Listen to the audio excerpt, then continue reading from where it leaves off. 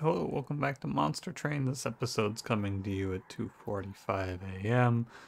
Uh, I've been hard at work today on my project, and it's going okay. Is what I would love to say to you, but it is not going okay. Uh, hope you're doing well. I'm doing fine. Uh, my project, we have a final presentation on Monday. It is Saturday now. It would be Friday night when I'm recording this, and uh, final turn in is on Wednesday.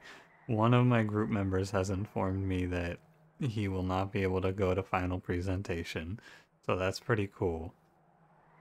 And I messaged the person I'm doing this project for to be like, hey, could I have a meeting with you this weekend to talk out a few of the fine details of the remainder of this project, and I got no response. So, you know, it's a little tough, but I'm all right. I'm, I'm, I was actually just not going to record this episode because I was so tired, and then I fell asleep at like 1.30 and woke up at 2, and I was like, well, I guess I'm okay now. I'm awake. I, I have just been I've been doing that a lot lately. Uh, by you know, actually reasonably much. I've been like instead of going to bed early, waking up late or anything like that. I just I go to bed late, I wake up early, and then I fall asleep for like 30 minutes in the middle of my day. Although 1 a.m. isn't really the middle of my day. Anyway, I'm gonna stop talking. I don't have a question for you today. I feel free leave a comment about whatever. I am I am all ears. Whatever's on your mind, however. I am going to record this episode and then I am going to go to bed. So don't forget to like, comment, subscribe. It's Ex Awoken Default Wurmkin. Sorry, I thought I saw a cat in here. Uh, Rage Talos, Darkness Arcus, Patience Seraph, Razor Sharp Edge, Echo Snare, Edge Prior. Yeah, one time, well first let me, let me go through this part and I will then tell you my short story about my cat. I like Mark of an Exile. Guild Marker is extremely good, but Mark of an Exile is also just a little better, I think. I'm gonna go Strangler or Thornlord here. Strangler. And with Strangler I take the Horde. These are all good, but I think Emblem of the Exiles is great. We have extremely good Wendelton survival from our first two relics, so I like to see it. Yeah, one of my cats a few days ago, I think it would have been Wednesday or so. Sorry, I'm gonna also lean back and pull you in a little closer, like so. Hope you don't mind.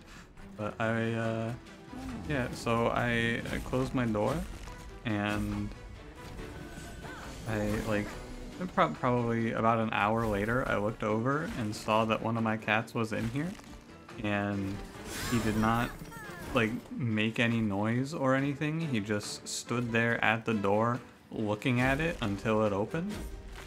And so I felt a little bad because like I trapped my man in here. And so since that happened, I've been trying to make sure that I, when I close my door, if I ever open it, I just like double check that there are no cats. Cause you know, I don't, I didn't mean to put him in jail. He didn't deserve jail. Not entirely, anyway. But, anyway.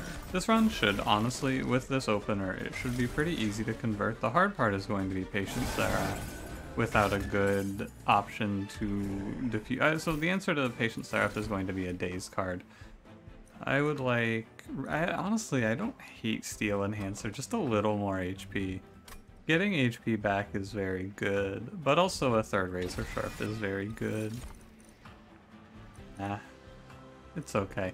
I think you go Echo Transfer here. And we want a unit to stand in front of Wendelton and tank. Is that unit Keeper of Echoes? I mean, a strong probably. Keeper of Echoes might actually stand behind and just offer 1-1, but we will see. Probably 2 plus 25s actually, and then I change my tune. I will take the Ford. Oh, Light's Gift is weird because I can already I can already get Light's Gift uh, sort of okay. So what Light's Gift does for us is it means that I don't have to take Quick, which means I skip Predator. But what does that actually mean for you? A Predator, yeah, Light's Gift is good, I guess. Predator is... Hmm, the multi-strike is okay in this run. I might end up taking Predator anyway. I guess Light's Gift is good if we miss on Predator. That's what it is, really. It's the Wurmkin banner? Hmm. I don't think self-infused keeper makes a lot of sense here. I actually think if you were to do that, it might be close to better to go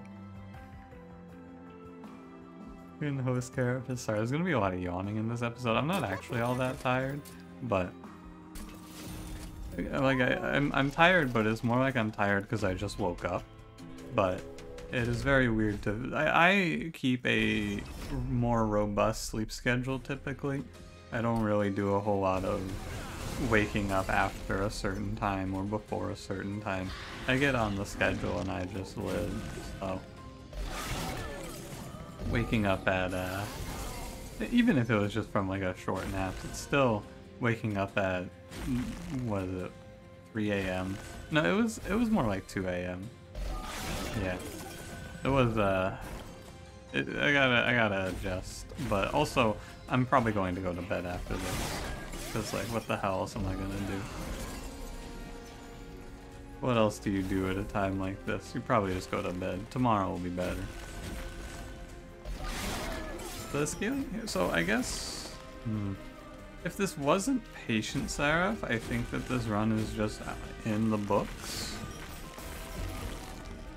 So, there's one card I'm looking for for this run, and it is Soul Crushing Guilt. Soul Crushing Guilt is the in the books card that bypasses Patient Seraph. Yes, I will take Purple Steel Enhancer. Uh, the healing is okay. I will live without it though. Echo Infusion is good. We're just looking for any forms of survivability. The Bounding Echoes is also okay. Belchain Steel Enhancer. Remember that this card, since it's purple, is actually 4-4?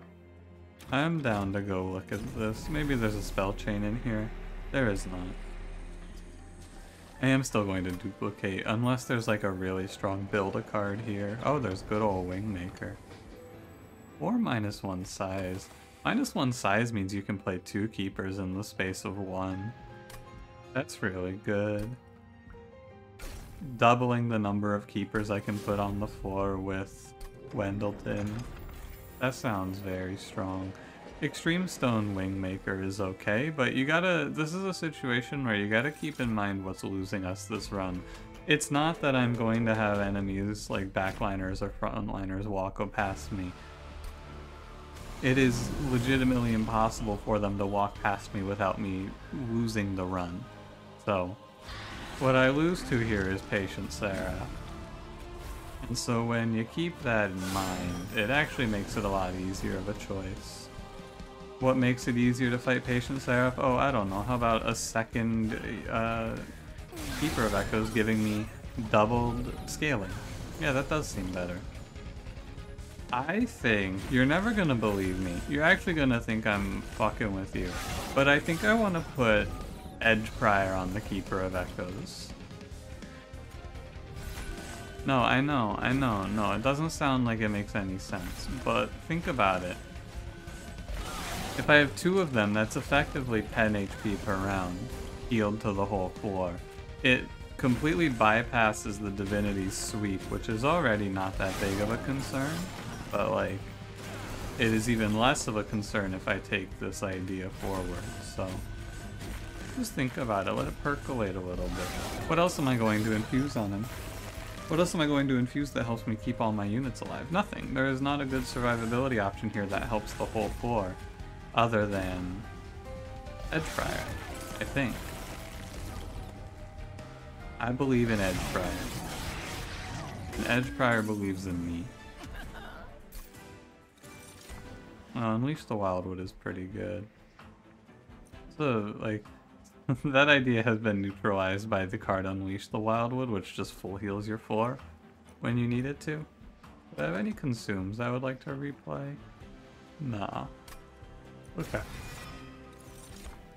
Steel Singer, no, this isn't your episode.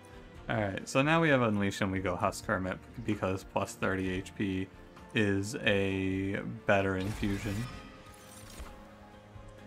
This run does not need space yet. It is a Root Seeds run. Here's the thing. Uh, for a little while, I'm gonna be honest with you. For a little while, I took I took energy because commenters bullied me into thinking that you had to take energy with root seeds because root seeds comes with plus one draw. I don't think that's true. I think that that's a lie told to me by big YouTube comments. Trying to keep me down.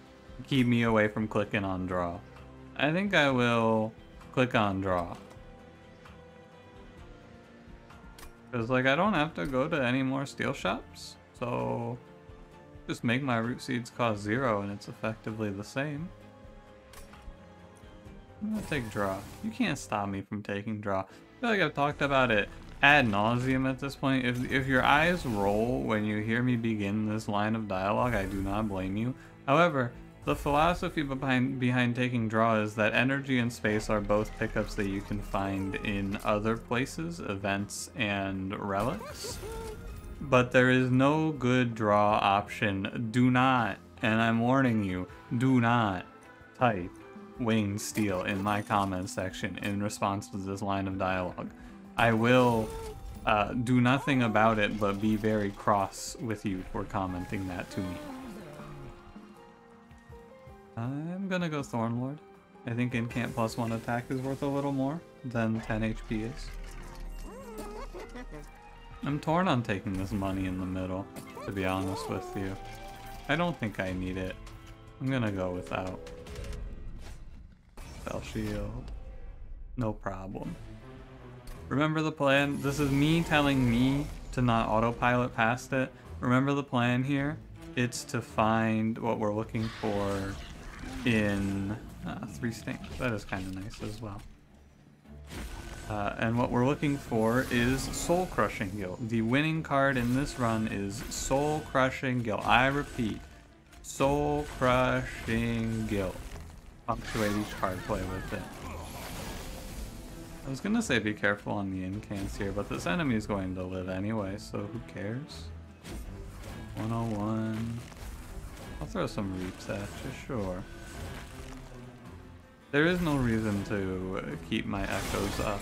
We cycle the deck in three turns, which is very good, because it means that we get back around to razor sharpening very quickly.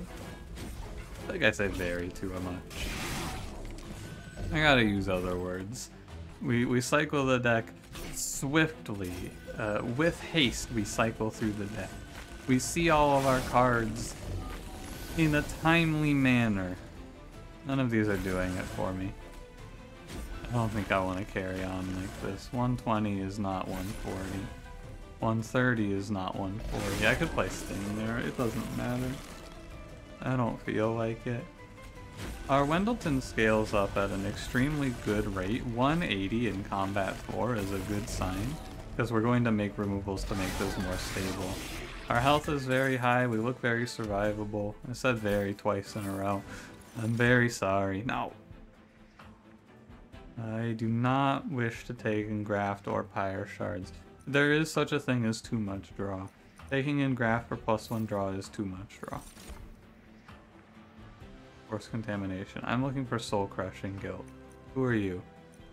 I could pick Force Contamination. I don't think it advances the plot very much though, because Force Contamination in this run is a survivability pickup, not really a damage pickup, because it's a survivability pickup because all it does is kill an enemy a turn sooner and then they would die if they had Strangler. So that has to matter for that to be good, and I don't think that matters. I'm gonna go to the relics because there is nothing I can, like the, the health is worthless.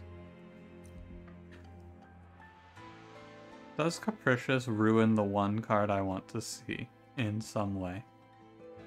No, it only makes it better with double stack or permafrost, so I will take Capricious.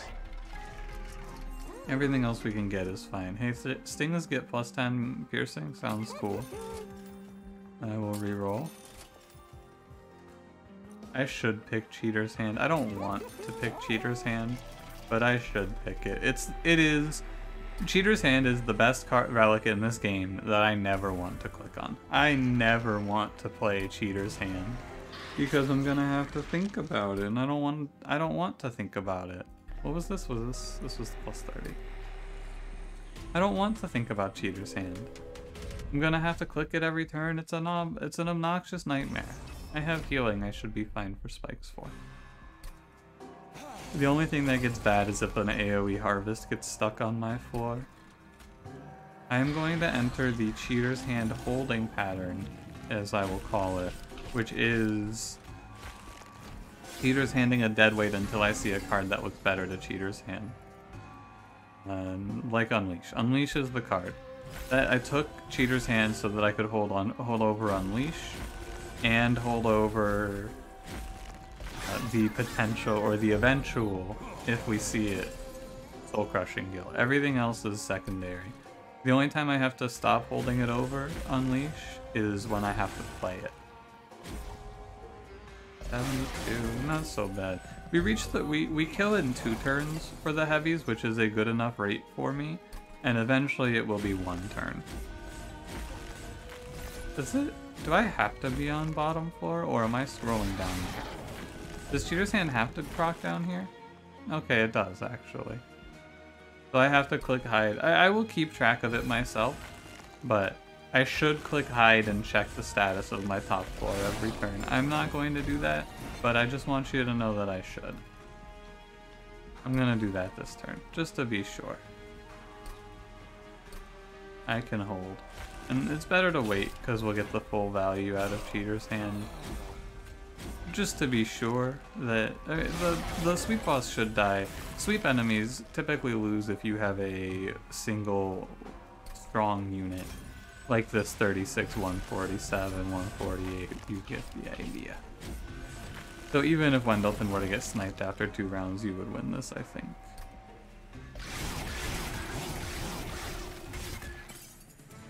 Life Lifesteal feels so inconsequential. Hey, plus 5 HP? Sure.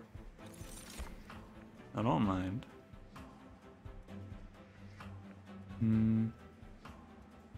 Restoring Retreat is a way to beat Ancient Seraph a little bit. I think that we start taking answers like this because it's fine. Or I could take hold. No, I'm not going to take hold over and snare. I'm going to take the minus one purple restoring retreat. This is going to have very few actual uses, but the deck has room for cards. Room for cards that don't appear to do anything. That's where I was going with that. We're gonna go to the Hell Vent, we're gonna take a second Keeper. I will take Energy after this, because a second Keeper means I could draw them both on turn one. And I would not like that. Gonna maybe take another space and play three, but I don't think so.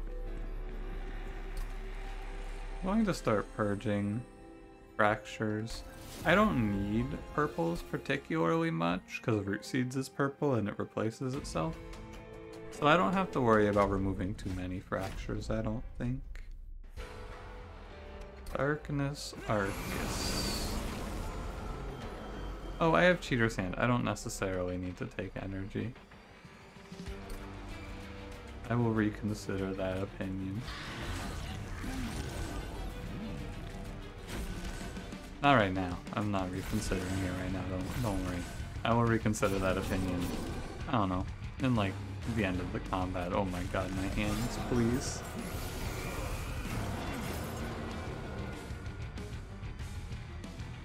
So I should put away Razor Sharp Edge.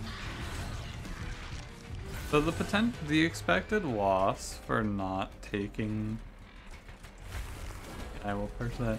The expected loss here for not taking energy is I lose my second turn and I lose an energy on my third turn. The energy loss isn't that much of an issue. And losing your second turn doesn't sound all that bad. I'm talking myself into taking... What, what am I trying to talk myself into? Draw? No way. You don't take draw here. Oh, on my turn. I don't think that I'm in a position where I need to do something about that. Uh, I don't need to trim my hand down and play well around that incant shard. Ah, the stings actually did get me the kill. Cool. Uh, so this looks close. Hang on. Does this look like it adds up to 140 to you? Looks like it adds to 157 to me. Oh, good, because that was 150, not 140. That was almost bad. Not even bad, it's just, what it would just not be ideal. Why didn't I hold over...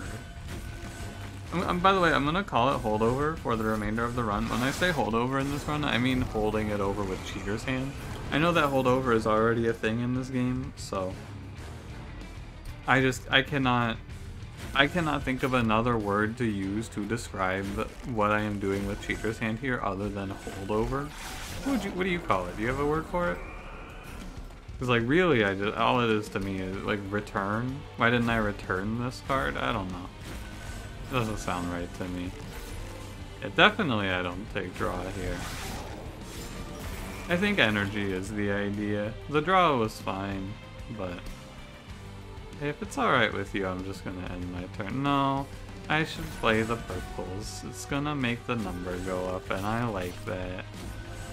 Now I'm gonna end my turn play. If we see a red X, we end our turn. Cool. Is this five rounds? Indeed. Multi-strike shard channeler. Zero cost purple unleash sounds fine. I'm going to take energy. The thing is, after taking energy, I'm almost certainly going to see, because I'm going to go to this magic shop, 100% there's a forever flame here. It's not really in that much of doubt to me. It might not happen because now I've, I've called it out, right? It could be Hell's Banners. Yeah, it's Hell's Banners actually. My bad. I said the wrong one. XD. Hey, this is actually holdover. Holdover Razor Sharp is pretty good. Probably want that. Intrinsic holdover Razor Sharp sounds solid to me. Oh yeah, because this is not even a loss of HP because you're gaining 2-2. Indeed. I will take it. And minus 1 I can keep. I like minus one root seeds actually. I'll reroll for another minus one, sure. I like it because it's purple. Purple is good here. And Thorn Lord 2. Is that the right one? Probably. Mm, yeah, Strangler is the one I do not want. How much health? 75? So he comes out at 75 and then 50% of that is 37. So Wendleton has 112 HP here. What a world. Yeah, this is the big upside of having Hell's Banners is I can play both Husk Hermit Keepers on this turn and have energy. So it's nice because you just beat out, you're, you're beating out having to deal with... Regen goes first, huh? Interesting. Uh, you, you beat out having to deal with the Ember Drain for too long. I have to, sorry, brain's breaking here. Not so hard, you go Echo Snare.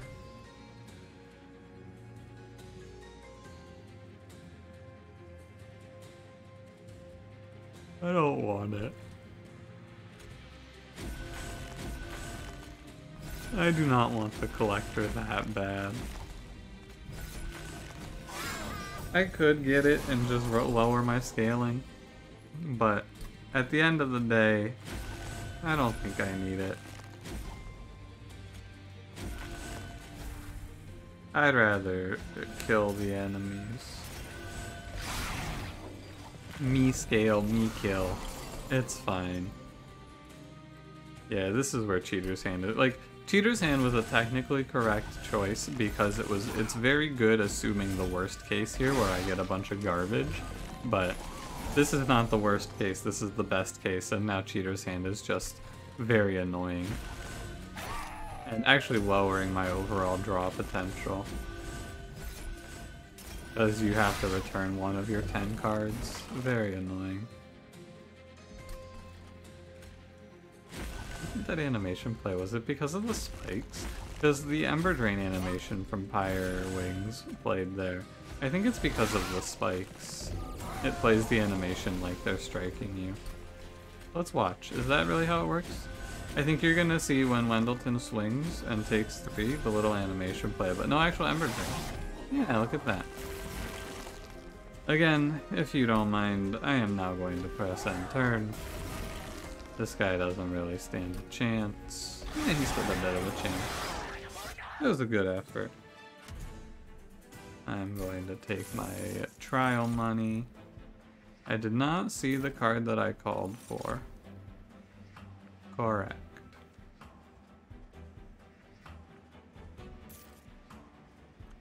I will now utilize Restoring Retreat for the same effect. Sort of. Not really, but like uh, an effect. Yeah, I need 10 pack shards here, please. Plus 10 piercing. Oh.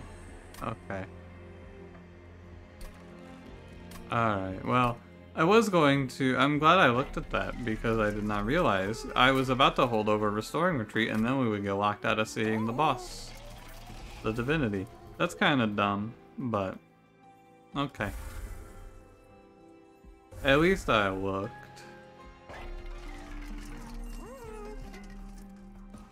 I will re-roll. Precious plating doesn't do anything. Okay, I mean this sucks because holdover restoring retreat would have been kind of nice here, but oh well. I will purge a I'll purge the non-infused unleash here. The rest of these cards seem fine. Could take the echo snares out, I guess. That doesn't look terrible. Maybe minus one razor sharp edge. Hold over. Hold over steel enhancer sounds fine. Just want Oh, I should hold over unleash. I just play that every turn and win. That's whatever. The Seraph the Patient is the only part of this that I feel any fear towards. The enemies can't really, like, even on the Divinity, only, the Divinity has lower damage output than what Seraph the Patient is going to stack up on me, I feel. We'll see how it goes, though. I think regardless, it's fine. I actually think that Chaste Seraph would have been more annoying, but Eh, maybe not. I don't know. Kind of a toss-up. Yeah, the annoying part here, I'm gonna put the Husk Hermit away. Oh no, I shouldn't do that. I have Restoring Retreat. Of course. But then again, the so the annoying part here is I have I have a limited number of plays every other turn. I'm gonna go one, two, and then end my turn. Like so. Yeah, so my philosophy is we now swap in the other guy, bring in the second Keeper of Echoes from the Grassy Knoll, so that the melee weakness doesn't double stack up on me on this turn. And that's nice. Put away a card that Weather would like to play but will not because Seraph is here. We want to take measured plays. Two cards is fine. We don't want to go any higher than that, though. Yeah. We want to keep the incants down. A lot of times I will disregard them in this fight, and that is not the correct idea here. I fear for my brother in the front lines. He's gonna have double melee weakness on him, so if I draw I can restore restoring retreat out of this, right? That's one way to get out of it. Double melee weakness. This is where you just get bulldozed, but I think it's okay because we can just restore Seraph off of the floor. Our brother here will die, but he will die later, uh, one by one turn. Which, and I'm gonna try to save him, but I'm pretty sure 3 times 30 is 90, actually, now that I think about it. He's alive. Cool. Oh, and I drew Unleash. Excellent. Okay. Put away Sting. This is four. Wait, this is four. Going on here? Oh, this Gilded Wing is not dead. I wish I could tell you that I had planned for that, but no, I did not. The Gilded Wing on the front lines. Wings for 10. If I had Quick here, I would actually be in a much worse position, but the Infused Gilded Wing handled, handled business for me. And now, what I want to say to you is that this is not some sort of happy accident. This isn't like, oh, I was at, I was in danger of losing and I got lucky. We were and are fine. But that's a nice uh, bonus that this Keeper of Echoes gets to live. A nice little boost. If I see a W, I close, I press end turn. I see a W, I press end turn. It's patience there if we don't fuck around. Uh, oh boy, I make the number bigger and then I incant him high enough that I get crunched. No thank you. Show me the divinity. Show me divinity! And it's like, ding, and that's the sound of the family feud answer being revealed that the divinity was one of the answers, and then the crowd goes wild, as I have done it again, and I am a genius. Ah, you know, I just finished parsing the idea I had. The idea I had was to play Keeper of Echoes to the, or to Cheater's Hand Keeper of Echoes. That would be the worst idea, not the worst idea I could have, but one of the worst ideas I could have. Not quite the same as putting Burnout 1 on a Bogfly. Not quite, but pretty bad, a pretty bad idea. This run is really stacked, though. Right out of the gate, I could have told you this one was going to be pretty stacked because of the...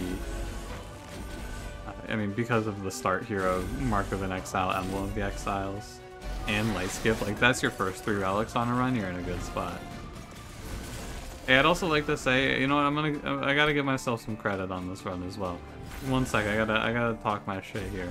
I think it's pretty sick and a little slick that I came up with the Restoring Retreat take. I think that was a good idea that I should recognize for myself. There is no reason to take that damage. You can sting off the enemy, there is no reason for him to walk up and do 10 to my front line. Take that, Wilt Wings. If I click on Unleash, we should be in a good spot. Yeah, I mean, you just, you hit the, the damage scaling. A run that starts with Razor Sharp Edge is already blessed as well, but the damage scaling is good enough that we kill the whole Harvest Wave in one swing. Now, the bosses, the mini-bosses will live on the floor with me for a turn, I believe. Or, or rather, an extra, they will get a swing and then probably another swing. Oh, actually, they will not. They get one swing. That is fine with me. This one's done. You can pack it in. I, I often will sandbag a little bit. I'll be like, oh, well, what about the... The only risk on this run was me not taking the plus 10 piercing. But somehow, I had the presence of mind and the wherewithal to say, hey, can I get locked out of the divinity here? I don't really... I would love to answer why I thought that. But I have no clue. It just it happened into my brain. I was like, oh, wait a minute. I should make sure I can actually get to the divinity. Let's verify our pact shards because I'm a little worried. I'm not at 100, and I was correct to verify. yeah, I think this is a great run that showcases the power of the plus one, or minus one size as well. Second Keeper of Echoes with just a little HP to go with Strangler sounds pretty good to me. Scales pretty well as well, so... Hey, we'll take that. That's a nice W. Not too shabby, not too shabby. No complaints. Okay. I'm going to go to bed now. Thank you for watching. If you enjoyed, don't forget to leave me a like, Subscribe if you want to see more. I'll see you in the next one. Have a good one.